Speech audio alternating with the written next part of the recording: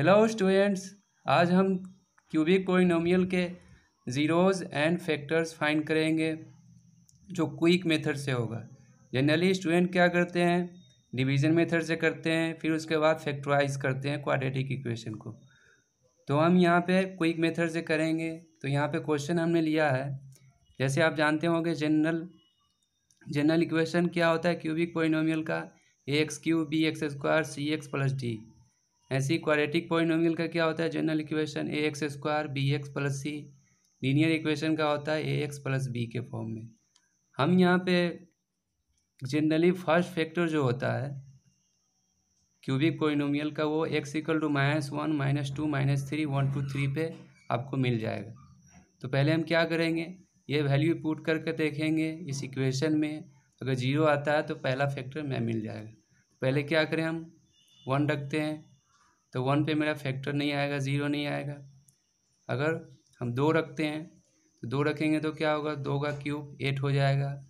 फिर three into two का square यानी कितना हो जाएगा? ट्वेल्व हो जाएगा प्लस ट्वेल्व हो गया। ट्वेल्व प्लस एट ट्वेंटी हो गया। फिर यहाँ पे दो रखेंगे तो कितना होगा? सिक्स टू जै twelve minus twelve minus eight minus twenty तो ये ज़ीरो आ जाएगा। कितने पे ज़ीरो आया? एक्स इक्वल टू टू पे। तो एक्स इक्वल टू टू इसका क्या हो गया? शून्यक हो गया। ज़ीरोज़ हो गए। और एक्स माइनस टू इसके फैक्टर हो गए। तो हम इसको ऐसे लिख सकते हैं। X minus two linear equation है मेरा। X square plus B X plus C quadratic equation है। तो किसी भी लीनियर को क्वाड्रेटिक इक्वेशन के साथ हम मल्टीप्लाई करते हैं तो क्या आएगा? क्यूबिक आएगा। यहाँ क्यूबिक इक्वेशन यहाँ पे क्या है? ये रहा।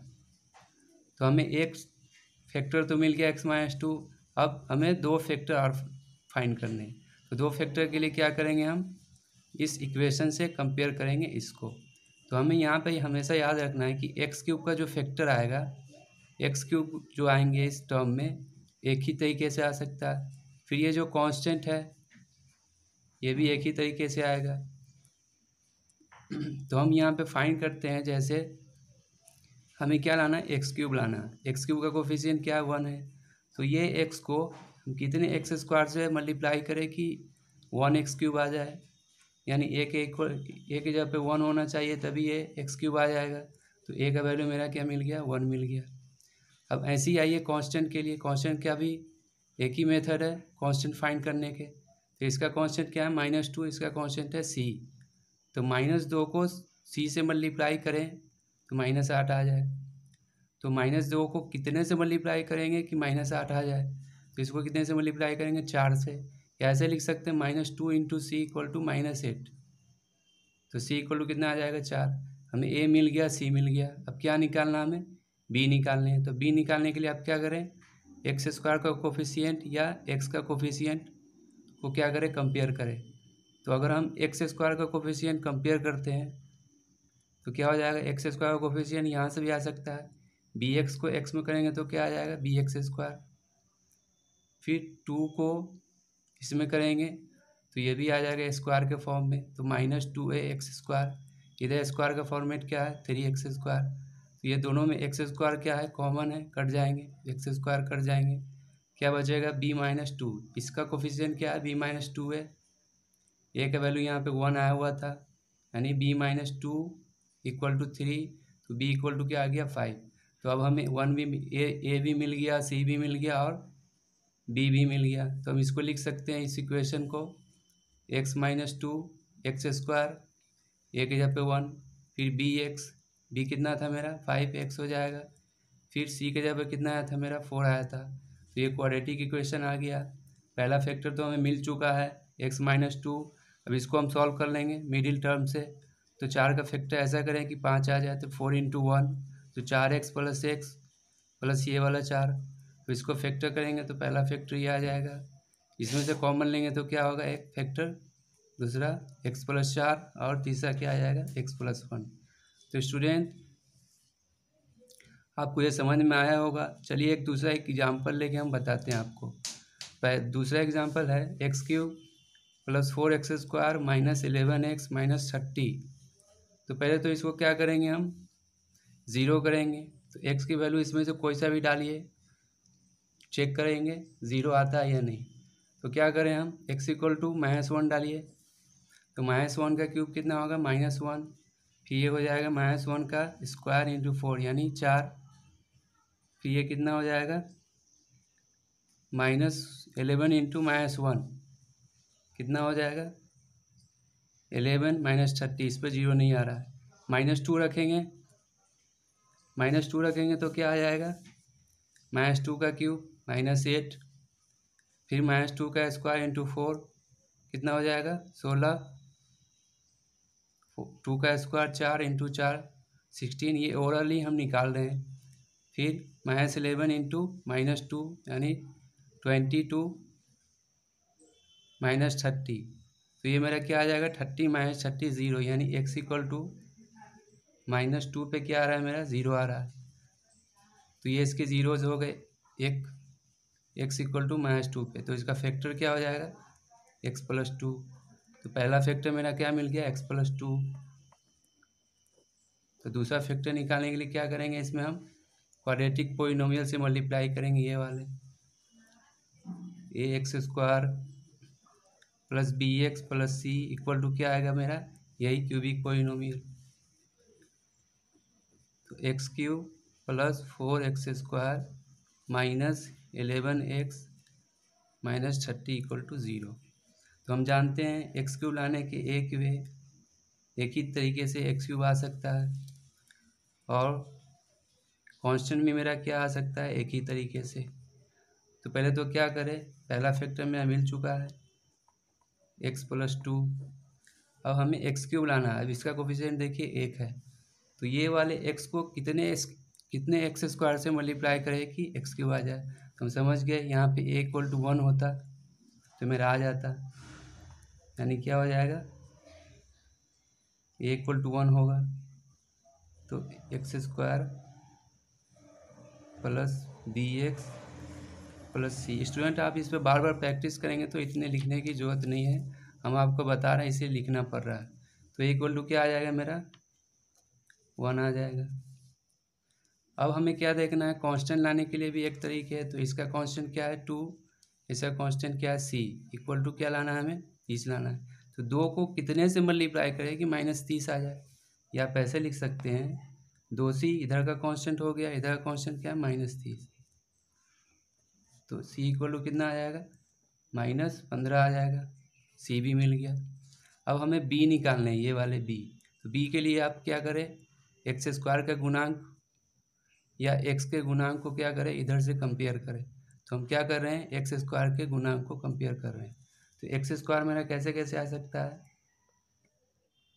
जब टू को ए एक्स स्क्वायर से करेंगे मल्टीप्लाई तभी भी आ सकता है। या एक्स को बी एक्स से करेंगे, तभी भी मेरा क्या आ जाएगा? एक्स स्क्वायर का फॉर्म तो पहले इसको करेंगे तो क्या हो जाएगा? Two a x square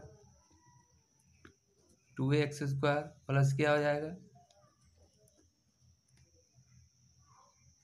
B x square, ये एक्स को इसमें करेंगे तो b x square equal to, इधर क्या है, x square? Four x square है।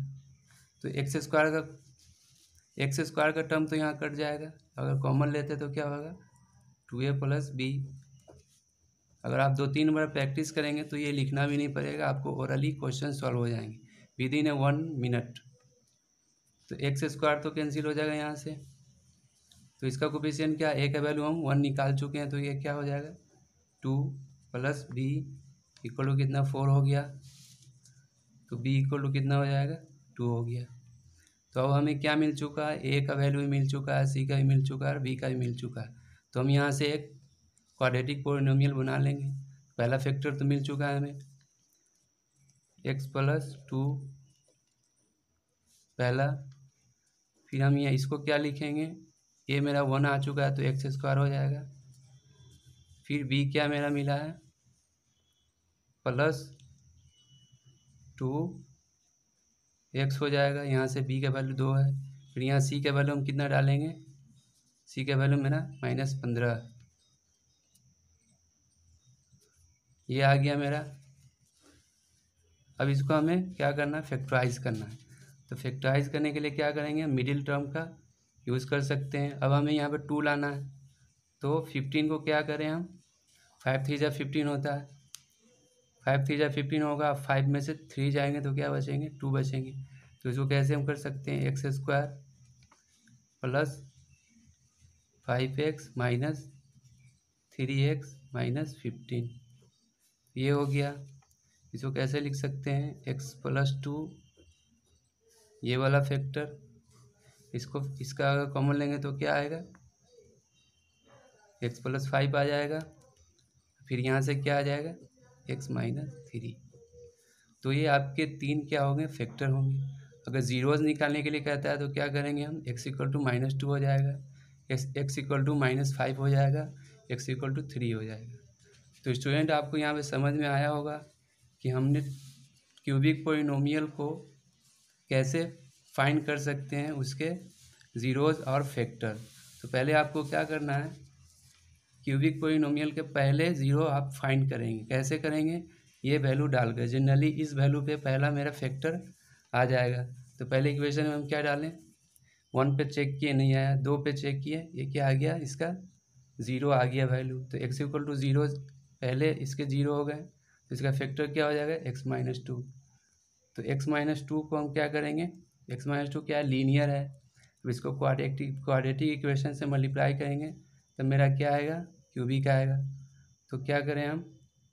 एक्स क्यूब का निकालने का तरीका एक ही एक एक एक ही तरीके से है। फिर कांस्टेंट वाले को फाइंड करने का तरीका एक है। तो हमने क्या किया ये? एक्स को एक्स स्क्वायर से करेंगे तो एक्स क्यूब आ जाएगा, सिर्फ़ एक ही तरीका होगा। तो एक वैल्यू क्या आ गया? वन आ गया, क्योंकि इसका कोफिशियंट क्या है? वन फिर कांस्टेंट इसमें क्या है? एक ही तरीके से कॉन्स्टेंट आएगा। टू को सी से मल्टीप्लाई करेंगे तो क्या आ जाएगा? मेरा एट आएगा माइनस एट आएगा। कब आएगा? जब सी इक्वल टू चार हो। तो यहाँ से फिर, अब फिर बी निकाल लिए हम। बी निकालने के लिए दो तरीका होगा। आप एक्स स्क्वायर का कोफिशियंट कंपेयर करें या एक्स का कोफिशियंट कंपेयर करें। तो हमने यहाँ पे बी निकालने के लिए क्या किया है? एक्स स्क्वायर का कोफिशियंट कंपेयर किया है। तो इधर एक्स स्क्वायर कैसे आ सकता है? एक्स को बी एक्स में कहेंगे तो बी एक्स स्क्वायर आ जाएगा। फिर टू को ए एक्स से करेंगे तो minus two a x square आ जाएगा। X square x square cancel हो जाएगा। बी का वैल्यू यहाँ से आ जाएगा फाइव। फिर ये जो है मेरा फैक्टर, पहला फैक्टर एक्स माइनस टू, दूसरा फैक्टर क्या हो जाएगा? ए का वैल्यू डाल दिए एक्स स्क्वायर। फिर बी का वैल्यू कितना डाले थे हम? Five five X five X आ गया। फिर सी का वैल्यू फोर। इसको मिडिल टर्म से फैक्टर कर लिए तो मेरा ये आ गया। तो आप दो चार क्वेश्चन प्रैक्टिस करेंगे तो विद इन वन मिनट के अंदर ये क्वेश्चन बन सकता है और टाइम बचा सकते हैं। तो दोस्तों, आपको ये अच्छा लगा हो तो वीडियो शेयर करें और कुछ डाउट हो तो कमेंट में लिख के बताएँ। Thank you